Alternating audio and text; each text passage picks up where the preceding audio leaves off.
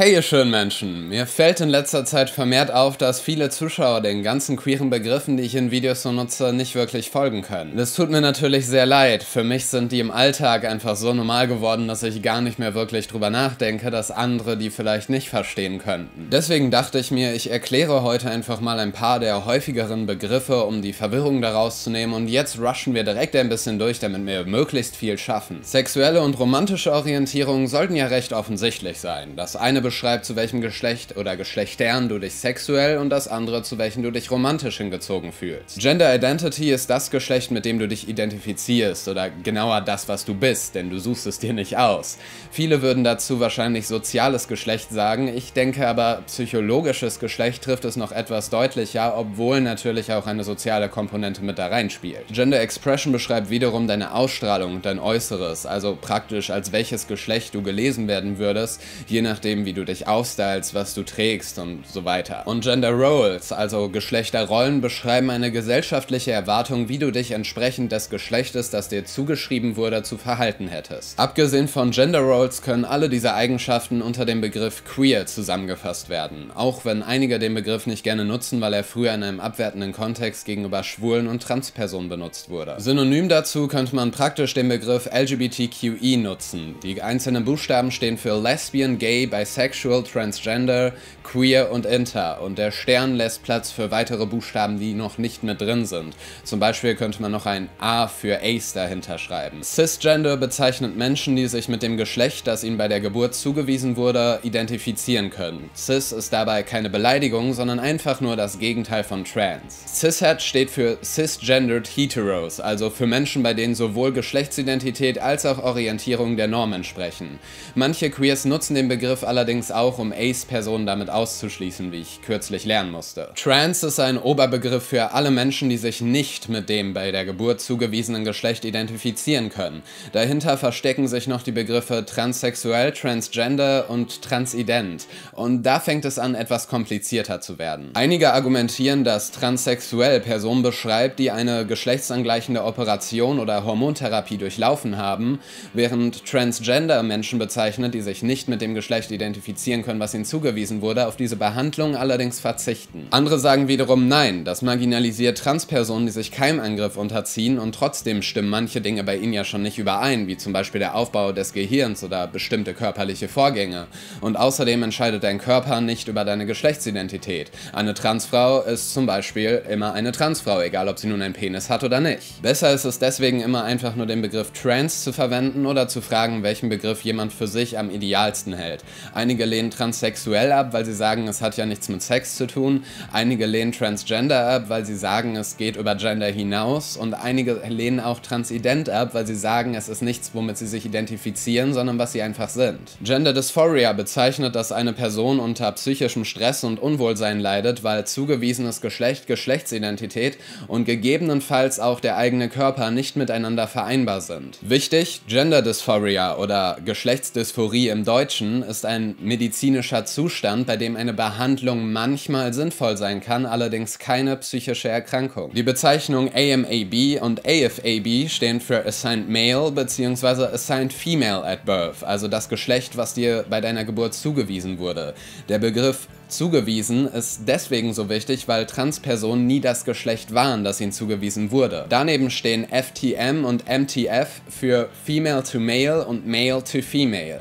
Also das erste Wort steht jeweils für das Geschlecht, das dir zugewiesen wurde und das letzte Wort dafür, welches Geschlecht du wirklich bist. Wir nutzen die Begriffe Transfrau, Transmann und Transperson, bei der Trans nur als Adjektiv funktioniert, weil es kein Teil ihrer Geschlechtsidentität darstellt, sondern lediglich ausdrückt, dass das zugewiesene Geschlecht nicht ihrem echten Geschlecht entspricht. Deswegen sollte man den Zusatz Trans möglichst auch nur dann nutzen, wenn es gerade wichtig ist zu betonen, dass die Person trans ist. Ansonsten sind es einfach nur Frauen, Männer oder Personen. Non-binary Non-binary bezeichnet jemanden, dessen Geschlechtsidentität nicht dem männlichen oder weiblichen Geschlecht zuzuordnen ist oder beiden gleichzeitig oder vielleicht auch gar keinem Geschlecht. Non-binary dient dabei nur als Schirmbegriff, der alle möglichen Leute darunter zusammenfasst.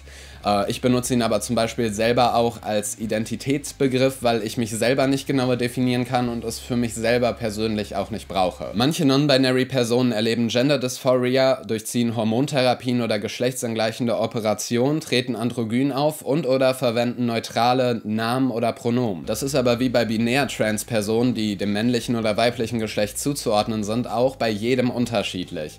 Non-Binaries lassen sich auch in den Begriff Trans mit zusammenfassen, einige Non-Binary Personen lehnen das aber für sich selber ab. NB ist das Non-Binary Äquivalent zu Mann und Frau. Ihr könntet also zum Beispiel sowas sagen wie Elliot ist mein Lieblings-Anby. Manche Leute mögen aber auch das nicht, weil es so verniedlichend klingt. Ich zum Beispiel mag es aber gerade deswegen. Transfeminine und Transmasculine bedeuten, dass man sich mit Maskulinität oder Femininität identifizieren kann und kann auch, muss aber nicht unbedingt heißen, dass man dabei Mann oder Frau ist. Beispielsweise könnte eine Person, die bei der Geburt dem männlichen Geschlecht zugeordnet wurde, eigentlich non-binary sein, sich aber trotzdem auch als transfeminine ansehen, weil sie sich mit Femininität identifizieren kann. Wird gelesen als bezeichnet das Geschlecht oder die Orientierung, als der jemand in der Öffentlichkeit wahrgenommen wird.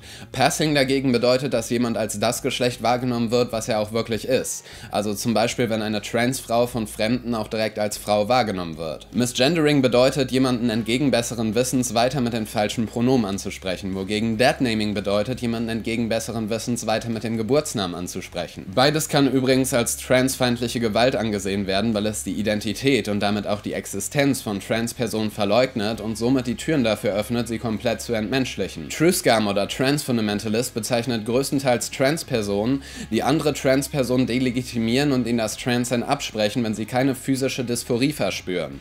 Was Non-Binaries angeht, schließen manche sie komplett aus und andere nur die, die auch keine physische Dysphorie verspüren. Da die medizinisch-pathologische Definition von Trans eine westliche Erfindung ist, sagt man auch, Transfundamentalisten halten Kolonialismus und weite Überlegenheit hoch, wenn sie als Gatekeeper fundieren. Gatekeeper bezeichnet meistens Queers, die anderen Queers das Queersein aberkennen, aus welchen Gründen auch immer. An dieser Stelle will ich übrigens nochmal schöne Grüße an Persiax ausrichten. Hab dich lieb, Bay. Transmisogynie bezeichnet Diskriminierung von Transfrauen. Nicht weil sie trans sind oder weil sie Frauen sind, sondern explizit, weil sie Transfrauen sind. Transpanic bezeichnet meistens einen Zustand von Cis-Personen, sobald sie herausfinden, dass sie gerade eine Trans-Person daten, wenn sie das vorher nicht wussten. Was übrigens auch bis heute der Hauptgrund für Gewalt gegen Trans-Personen ist. Heteronormativität bzw. Cis-Normativität bezeichnet ein System, in dem hetero bzw. cis zu sein als Norm festgelegt wird, an der jeder gemessen wird. Heterosexismus oder Cissexismus bedeutet hingegen wieder, dass Menschen ein geringerer Wert zugewiesen wird, wenn sie nicht cis oder hetero sind. Intersexualität bedeutet, dass jemand bei der Geburt nicht anhand seiner Anatomie in ein Geschlecht eingeordnet werden kann. Das System dahinter, dass alles in zwei Geschlechter passen muss, bezeichnet man hingegen als Gender Binary. Dann gibt es noch den Begriff Gender Nonconforming, der Menschen bezeichnet, die nicht in das traditionelle Geschlechterbild passen, sich vielleicht aber trotzdem mit dem ihnen zugewiesenen Geschlecht identifizieren. Der Begriff Ace bezeichnet Menschen, die entweder gar nicht oder nur unter strengen Voraussetzungen sexuelle bzw. romantische Anziehung verspüren. Der Begriff ist etwas genauer als asexuell, weil er mehr Variationen zulässt. Bei gleichgeschlechtlichem Sex bezeichnet Top den Partner, der Penetration ausführt und Bottom den Partner, der Penetration erhält. Power Bottom bezeichnet jemanden, der Bottom ist, aber dabei dominant agiert und Service Top ist das genaue Gegenteil. Service und Power lassen sich dabei auch immer entsprechend austauschen. Versatil bezeichnet hingegen jemanden, der weder immer Top noch immer Bottom ist. Nicht zu verwechseln übrigens mit Power Bottom. Das wäre dann nämlich diese Band hier, die übrigens verdammt, verdammt gute Musik machen. Deswegen unbedingt mal reinhören. Ich werde nicht dafür bezahlt, das zu sagen. Ich liebe sie. Polyamorie bezeichnet Beziehungsformen, die sich nicht unbedingt auf einen Partner beschränken. Dabei gibt es offene Beziehungen, was heißt, du hast einen Partner, hast aber auch mit anderen Leuten Sex. Dann gibt es Polyfidelity, was heißt, du führst mehrere Beziehungen gleichzeitig, hast auch mit all diesen Leuten Sex, aber mit keinem davon ab. Und dann gibt es noch Subrelationships, was heißt, du führst sozusagen eine Hauptbeziehung und daneben noch andere Beziehungen, die aber weniger wichtig für dich sind. Twink bezeichnet im Slang einen jung aussehenden, schlanken Mann mit geringer Körperbehaarung und wenig Männlichkeitsmerkmalen, wogegen ein Bier jemand ist, der sehr viel Behaarung aufweist, wie der Name wahrscheinlich schon sagt. Beide Begriffe sind aber extrem sexualisierend, also lieber nicht beschreibend verwenden, damit kannst du schnell auf die Fresse fliegen. Femme bezeichnet eine Person, die sich mit Femininität identifiziert, unabhängig ihres Geschlechts. Effemination bezeichnet Weiblichkeit bei meist männlichen Personen und Virilität bezeichnet Maskulinität bei meist weiblichen Personen. Wenn eine Person Eigenschaften beider binärer Ge äh, Geschlechter in sich vereint, dann nennt man das auch androgyn. Als Butch oder Tomboy werden dagegen oftmals Frauen bezeichnet, die sich aber eher nach einem männlichen Rollenbild oder männlicher Gender Expression richten. Natürlich sollte für all diese Begriffe aber gelten, ob Menschen sich in diese Schubladen stecken wollen, das entscheiden sie erstmal selbst und keine anderen. Also respektiert das dabei bitte auch. Und so, das war jetzt einiges. Jetzt versteht ihr Videos wie diese hier vielleicht ein kleines bisschen mehr und wenn ihr mehr Videos zu queer-feministischen Themen sehen wollt, dann zeigt mir das doch mit einem Daumen hoch oder einem Abo.